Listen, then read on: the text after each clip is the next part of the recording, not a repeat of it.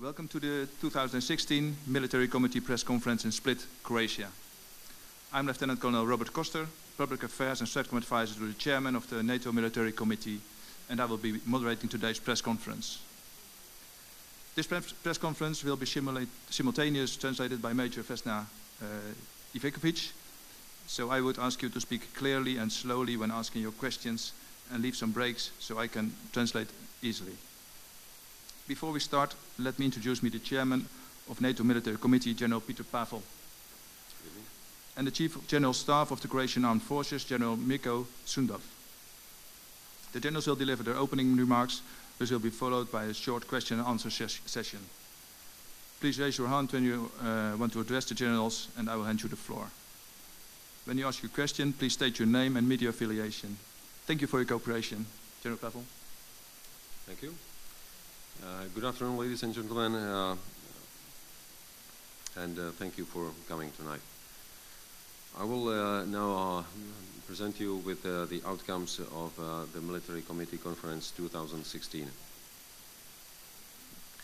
Today's meeting was an opportunity to bring together the chiefs of defense of the allied countries, the two strategic commanders, and the invited country Montenegro, to deliberate uh, on the implementation of the decisions uh, made by the heads of states and government uh, in the NATO summit in Warsaw this July. Uh, since uh, the Wales summit in 2014, uh, NATO has been adapting institutionally, politically, and militarily to reflect the dynamic security environment and range of challenges emanating from state and non-state actors.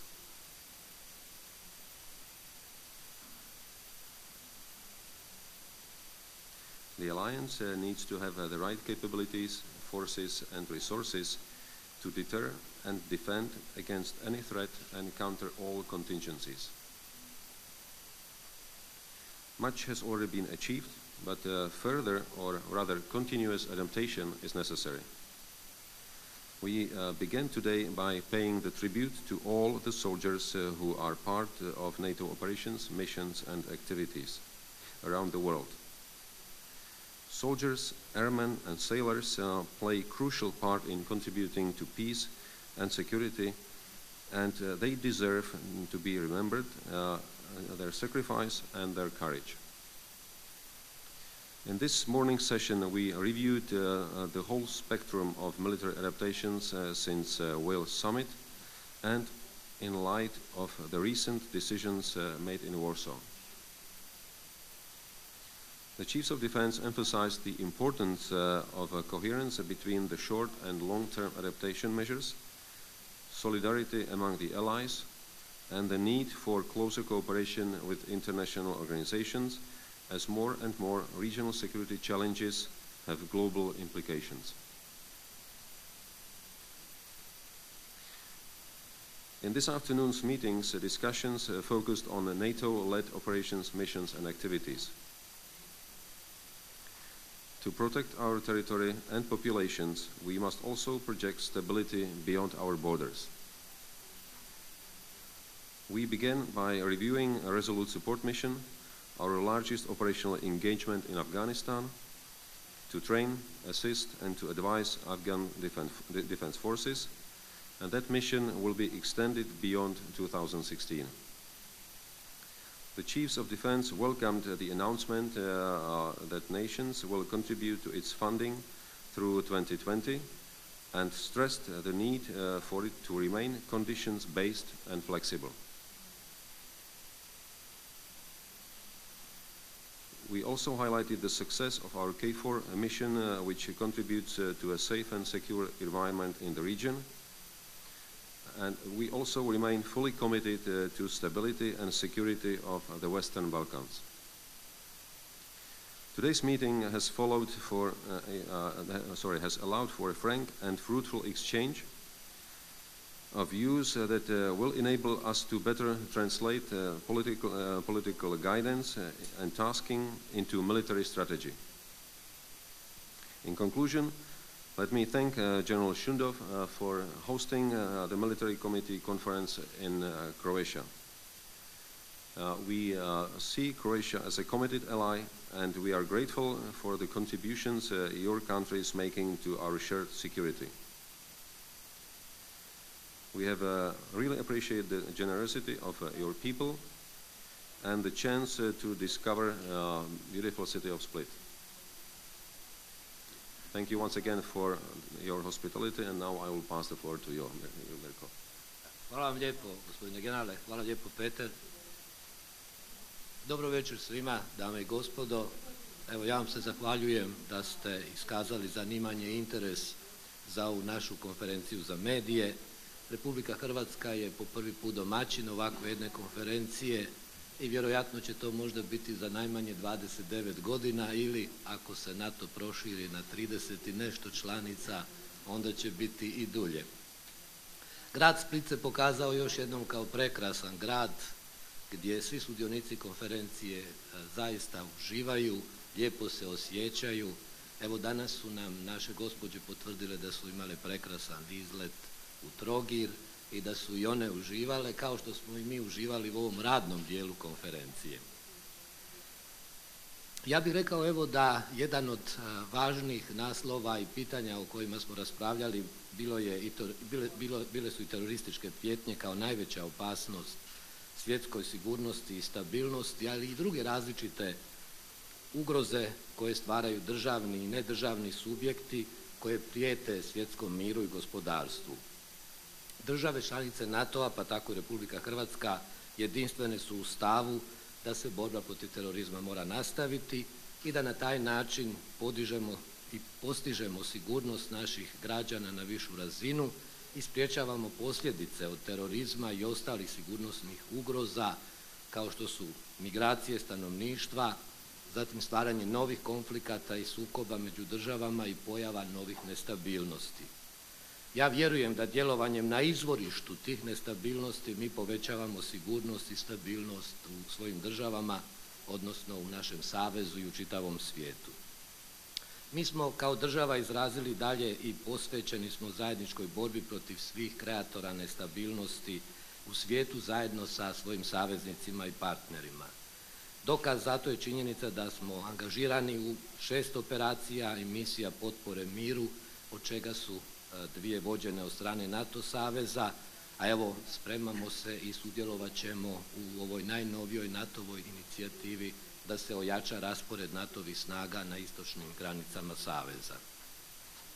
Time jasno pokazujemo da smo spremni poduprijeti sva ta načela na kojima počiva NATO savez, a to znači da je napad na jednog saveznika ujedno napad i na sve zemlje članice saveza. Mi kao Republika Hrvatska i naravno oružane snage Republike Hrvatske i dalje ostajemo posvećeni načelima solidarnosti i jedinstva saveza, i predana članica Saveza, ja bih rekao. Ja bih isto tako iskoristio priliku, Peter, hvala vama, hvala cijelom osoblju iz Brisela koje je zajedno sa osobljem oružanih snaga evo do sada vrlo uspješno po mojoj procjeni organiziralo ovu našu konferenciju. Ostaje još večeras malo neformalnije druženje isto tako u gradu Splitu i sutra razgledavanje grada Splita i njegovih ljepota, prvenstveno Dioklecijanove palače i naravno ja se nadam evo sretan povratak svih sudionika ove konferencije svojim domovima i NATO-vog osoblja u Brisel. Evo, Peter, hvala još jedan put na svemu. Okay, this is a time for Q&As. Maybe there are some questions. Um, lady, gentleman in the first row. Sorry. Hi there. Uh, Phil Stewart for Reuters, from Reuters. A question for General Pavel.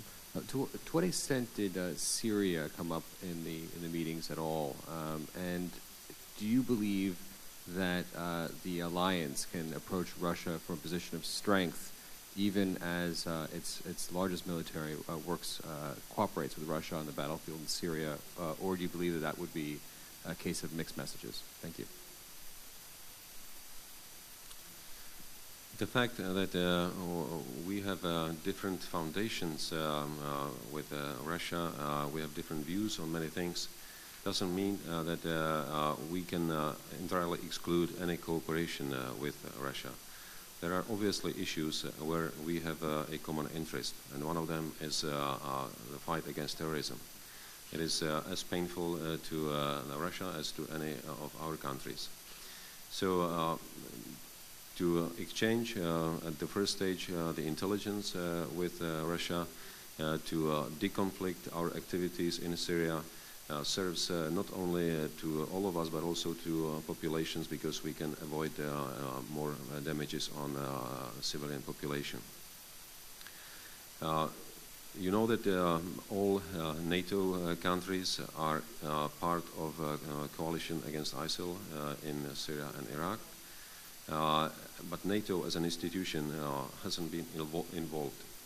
Uh, this uh, will change uh, based uh, on the decision uh, made by heads of state and government in Wales, uh, and the deci- decision was that NATO should take greater part in counterterrorism, not in direct combat, but rather uh, in supporting all activities in uh, building local capacities uh, to deal with the problem of, of terrorism.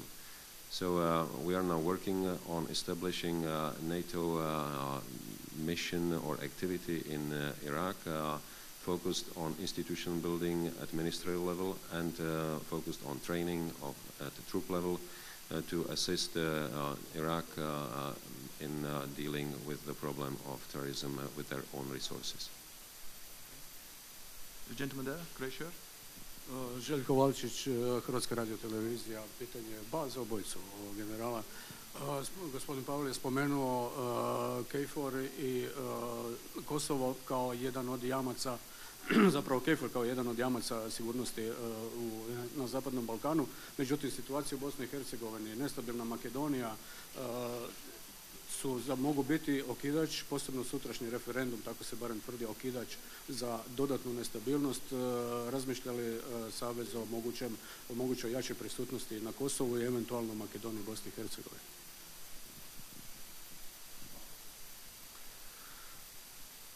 Situation in uh, uh, the Balkans uh, in general, and not uh, not only in uh, Kosovo, is uh, far from being absolutely stable. So we are all aware, and it was clearly stated by our heads of states and governments in Warsaw, that Western Balkans, especially, is still a potential source of tensions. That we have to pay great attention to uh, situation there. Some of the leaders have even expressed uh, that uh, uh, Western Balkans and especially uh, Bosnia and Herzegovina might be the next frontier for not only Islamic extremism but also for Russia and Russian influence in the region. So uh, we uh, pay great attention to uh, all the developments in the region. We deal with all the countries in the region. We stay committed to the partner partner cooperation. And of course, uh, the CHODs, uh, the chiefs of defense today, have expressed uh, their uh, view that the mission in uh, Kosovo uh, should uh, be uh, and should remain conditions-based. That means uh, before the conditions are met, not only in Kosovo itself, but in the region, uh, that, that the mission should continue uh, as it is today. Što se tiče nas, ja bih rekao da Republika Hrvatska i oružane snage ostaju i dalje u operaciji KFOR na Kosovu sa svim svojim sposobnostima koje i sada koristimo. Što se tiče Bosne i Her- i Hercegovine, izrazili smo potporu putu Bosne i Hercegovine prema NATO-u i svim onim aktivnostima koje u tom smislu Savez poduzima, a kad je riječ o regiji, onda i dalje nastavljamo vrlo aktivno u okviru A5 ili Adriatic Charter, to je jedna regionalna inicijativa poduprta od strane Sjedinjenih američkih država, gdje evo Republika Hrvatska i Albanija kao članice NATO-a asistiraju i pomažu i Bosni i Hercegovini i Makedoniji i Kosovu da se što je moguće više i bolje pripreme za buduće članstvo, a najbolji primjer je Crna Gora koja evo kroz Adriatic Charter, kroz tu suradnju i kroz zajedničko sudjelovanje s nama u tim vježbama postala još malo pa punopravna članica NATO saveza. E, Ja sam novinar Hine Peo Gašparević. Moje pitanje za generala Pavela je sljedeće. Vi ste spomenuli da se suočavamo sa sve većim brojem izazova koji imaju svjetske implikacije. Sad ste rekli, spomenuli ste rivalstvo Rusije i potencijalnog islamskog terorizma na Balkanu. Je li Balkan e, ta neuralgična točka koja može imati svjetske implikacije?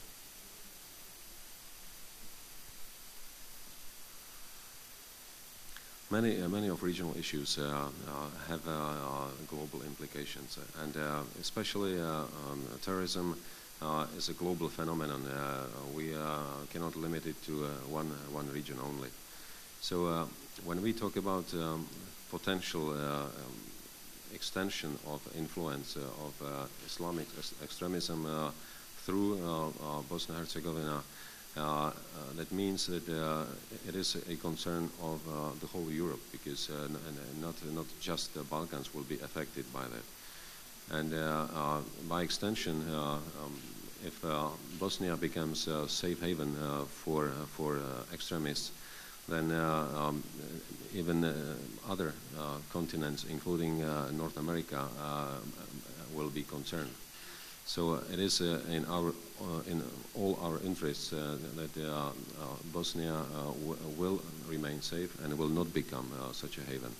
So um, we really pay a lot of attention to the development of situation, how the moves of extremists are changing, and we'll obviously take necessary measures to prevent such a development.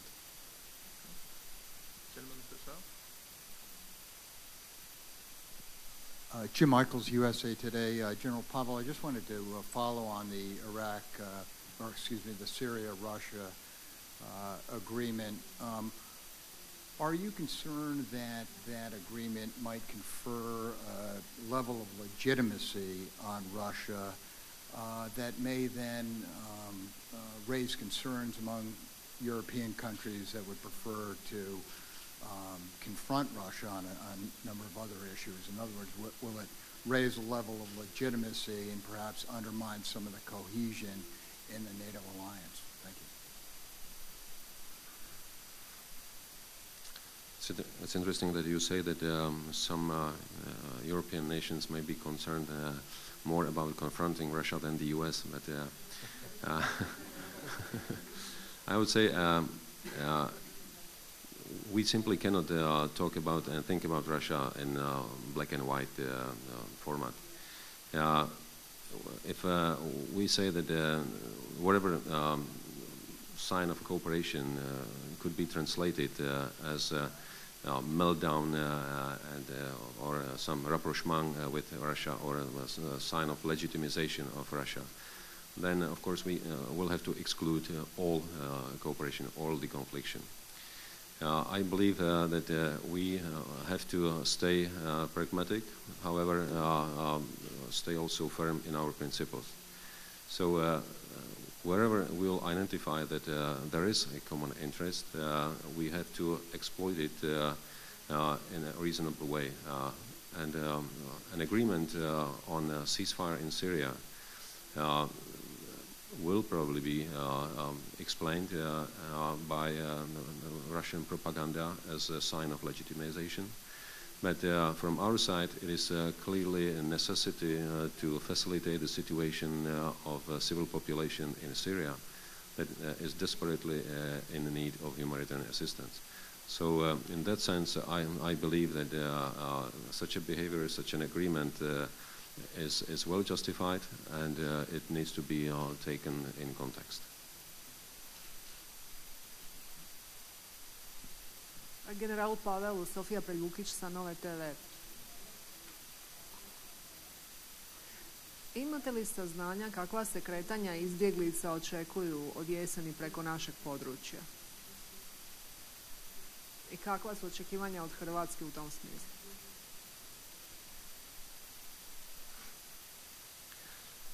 I believe that uh, uh, Europe is now probably oversensitive uh, to uh, refugee issue. Uh, some nations uh, um, have good reasons to be very sensitive because they were subject of a significant flow of migrants last year. Some of the countries are facing a reduced but still significant number of refugees um, even today. But uh, at the same time, uh, uh, there is uh, no imminent threat uh, of a huge wave of uh, migrants uh, uh, coming uh, from uh, Middle East uh, or from uh, North Africa, uh, which uh, would create a similar uh, wave as the last year. Not only that many measures have already been taken in Turkey, in Syria, that allow a lot of people to come back or to change their mind to go to Europe. Uh, the flow will continue uh, from uh, North Africa until uh, um, the security situation is unstable there. But uh, uh, a number of measures have been taken by the European Union uh, to put some regulatory measures on this migration. So I do not expect any major wave coming through Balkan route. And uh, uh, if- it, if it happens, uh, then the migration flow is primarily the responsibility of the European Union rather than NATO. And it's not denouncing the responsibility by NATO, it's simply saying that NATO has different tools in its disposal, and it's difficult to imagine to use uh, combat ships or tanks uh, or, uh, or aircraft to stop um, unarmed refugees. Uh, un- unlike uh, NATO, EU is equipped with uh, all the necessary tools, um, with uh, proper facilities and organizations. And NATO, if asked by the EU, can be in assistance. I još ako mogu pitati, već smo danas pitali generala Šundova o odlasku hrvatskih vojnika, mislim sljedećih godinu dana, prema granicama sa Ukrajinom, dakle u zemlje članice, gdje bi točno išla hrvatska vojska i koliko bi ih bilo, što bi bila njihova uloga tamo.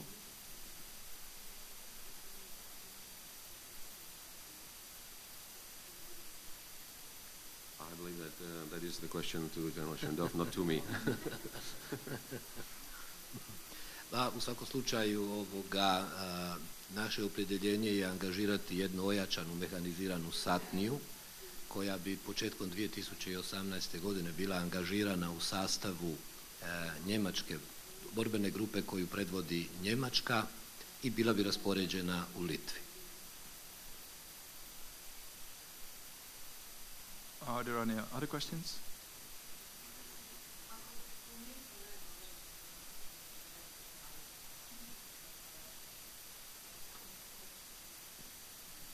E, Evo, danas je održano nacionalno vijeće, uključujući predsjednicu koja je bila na njemu, dakle nacionalno vijeće Hrvatske. E, Da li se tamo čulo nešto što bi hrvatski građani trebali čuti da li je na bilo koji način dovedena sigurnost zemlje u pitanje? Bila je redovita sjednica Vijeća za nacionalnu sigurnost i raspravljali smo, govorilo se o migrantskoj krizi i o obvezama koje je Republika Hrvatska preuzela na samitu u Varšavi i to je sve.